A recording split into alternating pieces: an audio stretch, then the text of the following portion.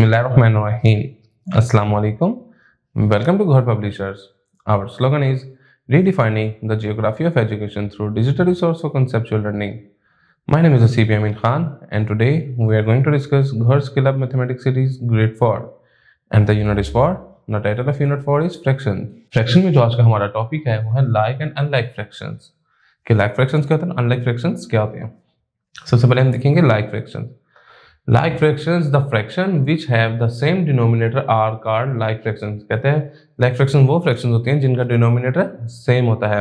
Like like देखते हैं, ये देखें one by five two by five three by five four by five ये क्या है? They are like fraction because their denominators are equal the denominator are equal for example one by five two by five three by five four by five are like fraction since they have the same denominator five इनका denominator five है same है, इस वजह से like fraction है। इन like fraction denominator same like fraction में denominator हमेशा same होगा। अनलाइक फ्रैक्शंस कहते हैं?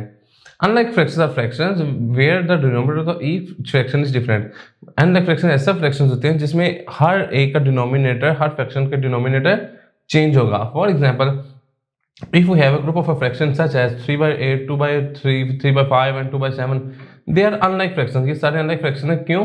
Since the denominator eight three five and seven are different ये सबके डिनोमिनेटर आपस में क्या है? डिफरेंट है। Comparing like and unlike fractions हम कंपेयर कैसे कर सकते हैं लाइक फ्रैक्शंस को और अनलाइक फ्रैक्शंस को? There are different ways to compare like and unlike fractions where ex, are explained कहते हैं। कई तरीके हैं कंपेयर करने के लाइक फ्रैक्शन को और unlike fractions को। जिनमें से कुछ नीचे दिए गए हैं। It is easy to compare like fraction just by looking at their numerator कहते हैं लाइक फ्रैक्शन को कंपेयर करने का बड़ा आसान तरीका है। आप सिर्फ़ उसके ऊपर न्यूमिनेटर देखें। But we have to convert unlike fraction to like fraction in order to compare them कहता है, लेकिन हमें कन्वर्ट करना पड़ता है अनलाइक फ्रैक्शन को पहले लाइक फ्रैक्शन में, ताकि हम इसके ऑर्डर को कंपेयर कर सकें. टू कंपेयर लाइक फ्रैक्शंस आप कंपेयर करना चाहते हैं लाइक फ्रैक्शंस को we only need to compare the numerator since the denominator are equal कहता है, हमें इसमें सिर्फ़ न्यूमिनेटर को देखना पड़ता है डिनोमिनेटर क्योंकि सबके सेम होंगे.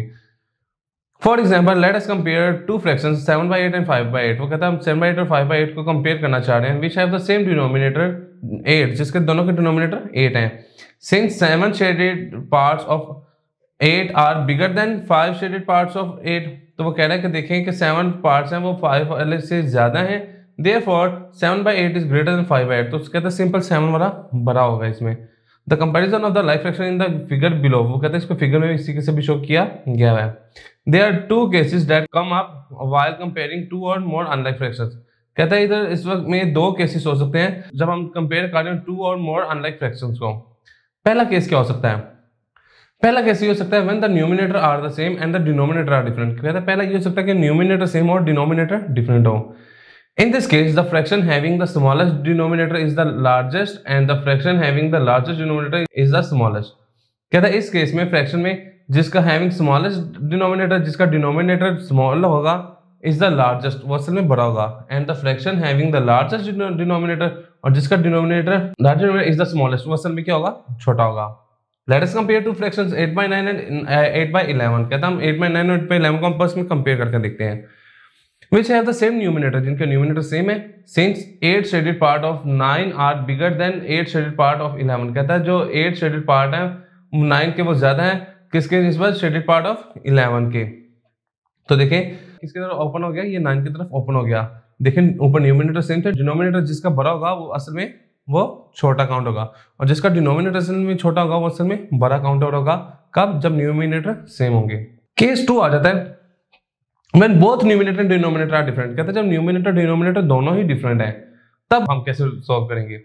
Here we have first convert unlike fraction to the like fraction सबसे पहले हम अनलाइक फ्रैक्शन को लाइक फ्रैक्शन में कन्वर्ट करेंगे बाय टेकिंग एलसीएम एलसीएम ले सकते हैं इनके डिनोमिनेटर का। फॉर एग्जांपल 2/3 और 4/5 दो फ्रैक्शंस हैं।